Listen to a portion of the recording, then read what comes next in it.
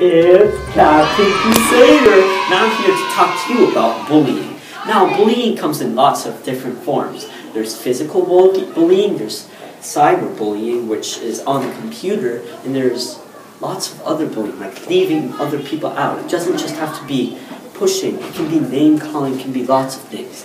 How do I stop bullying? You have to, when you see bullying happen, you stand up. Don't just walk, stand don't just stand down and watch it happen.